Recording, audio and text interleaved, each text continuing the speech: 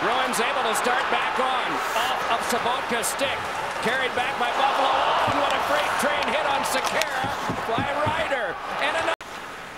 Seven goals here this afternoon in Buffalo and 100 plus hits in this one here, right part of your screen. Here comes Michael Ryder on Andrej Sekera. And there's one of those plays there where Sekera's worried about Vladimir Sobotka on his back check. So your, your attention's being drawn by the guy that's behind you, really the most dangerous guy when you talk about the puck. But then here comes Michael Ryder to shut him off and knocks him right down. That is a major collision.